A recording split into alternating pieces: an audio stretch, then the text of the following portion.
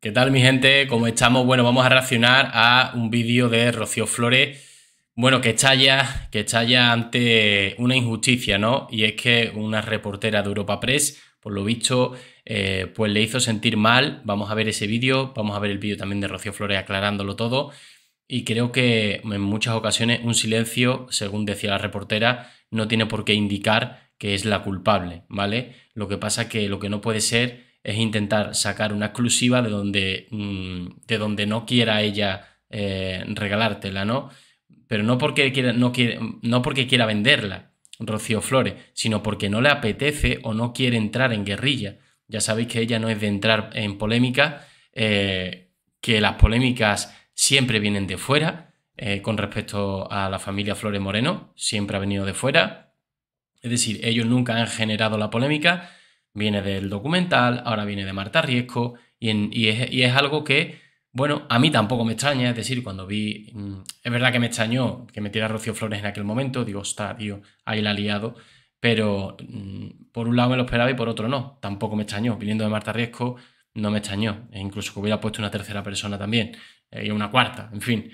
Vamos a ver el vídeo, vamos a reaccionarlo, la verdad eh, es lastimoso, yo entiendo el trabajo de preguntar, yo el trabajo de preguntar en la calle lo entiendo. Ella incluso lo dice, yo lo respeto y lo entiendo. Pero que tú intentes, em, con malas artes, intentar que yo te dé, la pataleta, eh, con, eh, una reflexión que tú me haces para que yo te responda a las malas, por ahí no, ¿no? Y al final la hizo llorar, la hizo llorar, ahora lo explica, ¿no? Bueno, dicho esto, vamos a comenzar reventar el botoncito de los likes, el de las suscripciones lo tenéis en rojo, si lo tenéis en rojo mal asunto, lo tenéis que cambiar a otro color y ya os pone suscrito y la campanita y ya os llegan todos los vídeos, ¿vale? Así que bueno, comenzamos primero con esta noticia, ¿no? De Chens de Europa Press, primicia, Rocío Flores rompe su silencio tras la ruptura de su padre y Marta Riesco, ella es la culpable y aquí abajo es donde dice, cuando le pregunta, sin embargo ha sido al escuchar que su silencio se podría interpretar como algo que ha hecho que su padre rompiese con la reportera cuando ha estallado. No ha estallado, vamos a ver el vídeo y no ha estallado, como bien dice Rocío Flores, simplemente ha dicho, ah, gracias, es un comentario súper apropiado, siendo periodista, súper objetivo y súper apropiado, muchas gracias y buenos días. O sea, eh, esto lo ha dicho, que vais a ver el vídeo ahora, súper tranquila, súper tranquila, lo hice de verdad, súper tranquila, vamos a ver el vídeo y la ponen como que ha estallado. A ver, yo entiendo algunas veces, em, no sé, los clickbait, mm, que, escúchame, los clickbait no son de YouTube, ¿eh? quiero dejar claro que nosotros que nos dedicamos a contrastar noticias, te metes en algunas noticias que dice aquí te van a encontrar lo más grande y, luego, y luego no. O sea, clickbait hacen en, todo, en todos lados. Periódicos de fútbol, de política, del corazón, de todos lados. Y bueno, aquí tenemos a Rocío Flores, vais a ver que el club de fan eh, ha compartido este vídeo de, de Chen de Europa Press. Y bueno, vamos a ver exactamente qué sucedió y cómo sucedió. Si no dices nada, tu silencio se interpreta como que algo has tenido que pasar y que tú tienes la culpa. El reportero, habéis escuchado. Bueno, en teoría, si no responde, tu silencio se puede interpretar como que tú tienes la culpa, por eso no te defienden, ¿no? Eh, vamos a ver, pero ¿por qué ella tiene que entrar en una polémica que le han metido. Ella no quiere entrar en polémica, se calla. Eso, el silencio significa. ¿Desde cuándo el silencio significa el, que calla otorga? No. Otra cosa es que a mí me pregunte cara a cara, ¿no? Y, yo me calle, ¿no? Pero eso ha sido por redes sociales y ella no quiere entrar a debatirlo. Pero eso no es un calla otorga. Un calla otorga es cuando hay un careo, te pregunta y te calla. Pues ahí sí, pero aquí no ha habido ningún careo. Esto es por redes sociales, lo que ha puesto Marta Riesco, y ella no va a entrar en este tipo de cosas. Ah, gracias. Ah, bueno, si no dices nada. Es un comentario súper apropiado, siendo ah, periodista. Pero, ¿y por qué? Súper objetivo y Pero porque no, no Porque aquí lo que intenta él es que ya sabe que es la última pregunta que le va a hacer, porque ya se ha metido en el coche. Como sabe que es la última pregunta, intenta ya picarla con lo último. Y lo último es eso. Lo último es ya decirle, eh, calentarla, que, que, que es lo que intentaba, ¿no? Eh, bueno, pues entonces el que calla, le viene a decir, el que calla otorga porque tú eres culpable y lo habrás hecho, ¿no? En fin, pues se queda diciendo ella, claro, qué objetivo, ¿no? O sea, tu pregunta, una cosa es que pregunte y otra cosa es que tus preguntas sean dañinas, hirientes, ¿no? Bueno, Ro, estamos contigo, este es el club de fan y ahora vamos a ver el vídeo de Rocío Flores, ¿vale? en el cual, pues, bueno, explica a la perfección lo que ha sentido y, que ha llegado a llorar, ¿no? O sea, lamentable.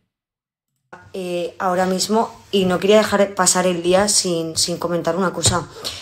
Esta mañana, al llegar eh, a Madrid, había un reportero y bueno, hay un vídeo que está en redes sociales. Lo que no sé si el vídeo está completo, al menos el que yo he visto no, pero no sé si, si está en otros sitios completo. Y entonces, pues nada, básicamente le digo buenos días y el hombre pues empieza a preguntarme y me dice que, que si, bueno, que si le voy a contestar a algo, a lo que... Bueno, para que veáis que el vídeo que hemos visto y lo que va a contar Rocío Flores, para que veáis que no manipula nada, que lo dice todo exactamente tal y como ha sido, eh, que no cambia ni una, coma de, lo que hemos visto y, para que veáis que es que es así, es que es literal. Muy educadamente le contesto que, que, no, que no voy a decir nada, que... Al igual que pasó con Diego Arrabal, muy respetuosamente, le dio los buenos días, bueno, ¿qué tienes que decir con respecto a ruptura y que te ha metido tu parte, ha señalado? Lo único que tengo que decirte es buenos días, de verdad, no voy a hablar sobre el tema. Y ya está, eh, más o menos lo mismo, ¿no? Lo que pasa que lo que más, mm, lo que más eh, digamos, lo, más polémico ha sido lo que sucedió en la última pregunta. Ya los reporteros, como sabéis, si os fijáis, porque nosotros ya llevamos mucho tiempo fijándonos en los reporteros, eh, la última pregunta antes de meterse en el coche o metido en el coche ya es un poco la más, eh, la más hardcore, la más dura, como para que estalle, ¿no? es un poco su estrategia, ya que a las buenas durante todo el trayecto que te he perseguido he ido de menos a más preguntándote, ¿qué tal estás? Siempre se, siempre se suele empezar así. ¿Qué tal estás? ¿Cómo te encuentras? Bien, ay, nos alegramos. Bueno, y para ir metiéndote al famoso en el bolsillo y ya luego venga, Rod, dinos un poquito qué sientes sobre... Ya van incomodándola poquito a poco hasta que cuando ven que no habla, no habla, no habla, no habla, eh, pues ya la última pregunta intentan ser lo más dañinos posible. Y aquí ya es donde a mí me parece, me parece que la moralidad del periodista, entiendo las preguntas, entiendo que se hagan las preguntas, pero como formuló y como reflexionó esa pregunta, creo que fue dañino este, este señor. Eh, bueno, pues que primero no le digo en plan no me apetece, ¿no? Pero mm, le digo que, tengo muchísima prisa, eh, que tengo una persona afuera esperándome y que llego tarde, que tengo que... Así es, el que estaba afuera es su compañero influencer, este que se decía que era su novio y tal y cual. No sé si recordáis que es alto y tal, que es de la representación suya, creo, ¿eh? lo he visto de, lado y me ha, parecido él. Si no es él, bueno, la, verdad es que sí, que lo estaba esperando a alguien. Y bueno, la cuestión que, que iba con prisa y punto. Que tengo que trabajar, que tengo que hacer un trabajo y que mm, no puedo pararme. A lo que el hombre, bueno, pues eh, sigue haciendo su trabajo, sigue preguntándome, eh, yo sigo en silencio, en silencio, en silencio. Y todo perfecto, todo muy bien a lo que llega el momento de que me meto en el coche y, bueno, el reportero al ver que no digo absolutamente nada. ¿Veis? O sea, lo está contando todo tal cual, para que veáis. Os he puesto el vídeo antes. Es verdad que el vídeo anterior no, no, lo he puesto eh, porque no lo he encontrado en Europa Press. No sé, creo que lo pusieron y lo quitaron eh, porque realmente no dice nada. Entonces nada más que, digamos, lo pone en modo artículo escrito y bueno, sucede, sucede lo, que, lo, que hemos visto ahora y lo va a contar con pelos y señales, tal cual sucedió. Eh, tiene la brillante idea de decirme básicamente que claro que como no me pronuncio es como que tengo algo que ocultar o algo así me dice y básicamente me culpabiliza. Vamos, me lo dice claramente. A lo que yo le contesto que me parece un comentario muy apropiado de un profesional y sobre todo me parece un comentario súper, súper objetivo. Eh, os diría que esta mañana... Le respondió eh, que, no, que no valía como periodista con elegancia. Es decir, que no tuvo ninguna objetividad y que la pregunta estaba fuera de orden totalmente, ¿no? Se lo dijo con elegancia, porque Rocío, Flores es así. He vivido una de las situaciones, mm, no sé cómo, mm, todavía no sé qué título ponerle. No sé si mm, de tristeza, de impotencia, eh, de rabia, no sabría ponerle un título, pero soy una persona que he tenido una presión mediática durante estos dos años que es que yo no se la deseo a mi peor enemigo. Yo he tenido a 12, 13, 14, 15 personas detrás de mí, 5, 6, 7 coches, 24 horas diarias. He sido una persona que he dicho que el trato de la prensa en la calle conmigo siempre ha sido bueno. Aquí aclara que entiende el trabajo, que, que el trato con la prensa ha sido bueno, pero que bueno, hay circunstancias y hay veces que tocan este tipo de cosas que, que ya no gusta, ¿no? Porque una cosa es que te pregunten 20 veces por los mismos temas, que suele pasar, y que en alguna ocasión la hemos visto un poco harta, en plan resoplar y tal, como "Uf, ya os he contestado, que no voy a hablar, no me preguntáis más por lo mismo, ¿vale? Pero hoy ella siempre espera eh, y termina, ¿vale? Ya, gracias, hasta luego. Pero es que hay veces que se pasan los límites.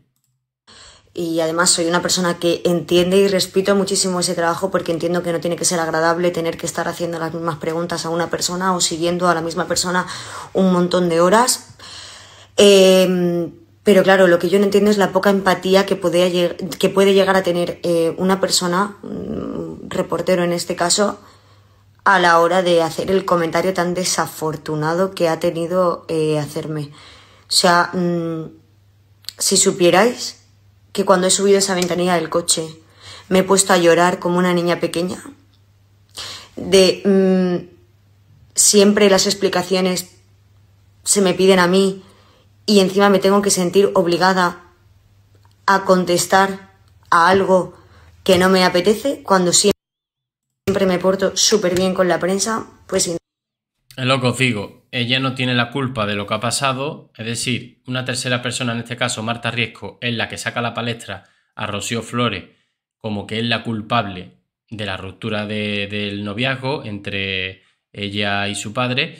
Y ella no, no tiene, o sea, le podéis preguntar, claro que le podéis preguntar, si ella lo entiende y lo respeta, lo está diciendo. Lo único que pasa que, ah, pues si te callas, tú es que eres la culpable. Oye, ostras, tío, creo que eso ya está fuera de lugar, ¿no? Sinceramente me he ido con una sensación súper mala.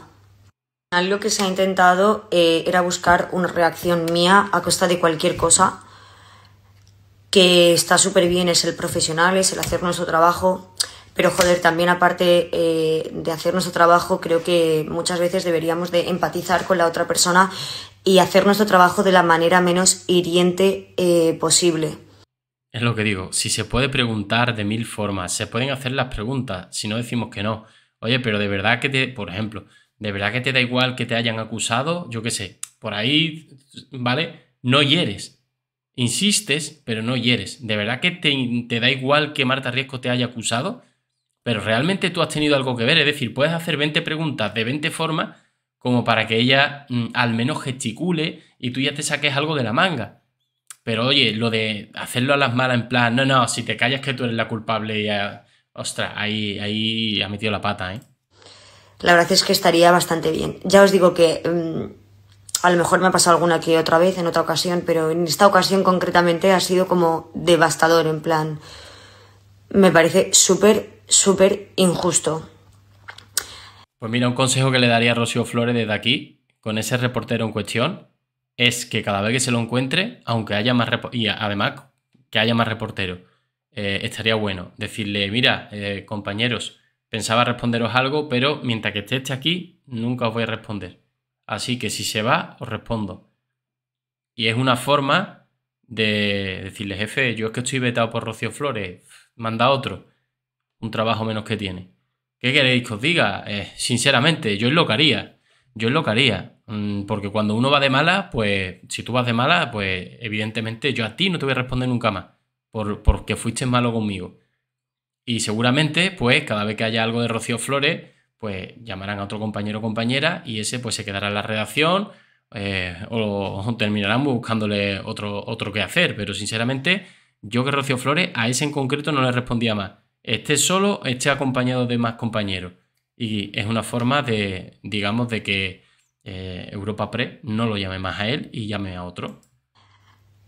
La conclusión de todo esto es que mm, solamente con yo decir ese comentario, al final con decir eh, ese comentario ya todos los titulares eran Rocío Flores estalla contra la prensa. Rocío Flores estalla contra la prensa, no. Eh, Rocío Flores en ningún momento ha estallado. Eh, Rocío Flores lo que ha hecho es eh, sentirse ofendida y dolida por un comentario que le ha hecho un reportero súper desafortunado y creo que he sido eh, bastante escueta y educada a la hora de Elegante, contestarle. Elegante, sí. Creo que al final, eh, lo que he dicho antes, trato con respeto a todo el mundo y me gustaría que me trataran a mí también con el mismo respeto. Y con esto mmm, zanjo el tema. Solamente quería expresarlo porque al final el guardármelo dentro, como llevo tantísimos meses guardándome tantísimas cosas, eh, solo provoca que la gente no me entienda, eh, no me comprenda y me acribillen todavía más y sentía la necesidad de explicarlo. Bueno, mi gente, yo creo que más claro el agua, creo que es totalmente injusto este, este chico que le ha preguntado, yo sinceramente él, os lo diría, yo él lo que haría, ¿eh? yo le digo, mira, mientras que esté este chico aquí yo no voy a, responder a nada, si se va, yo respondo al resto de los que estáis aquí. Eh, pues, Pepito, Juanito, vete para allá, anda. Ya está, o sea, tú me jodes a mí, tú me haces pasar a mí un mal momento, pues yo a ti no te voy a responder nunca más, ni más ni menos. Bueno, mi gente, el vídeo se ha hecho un poco más largo, lo siento, Dejadme vuestros comentarios, suscripciones, likes. Un saludo.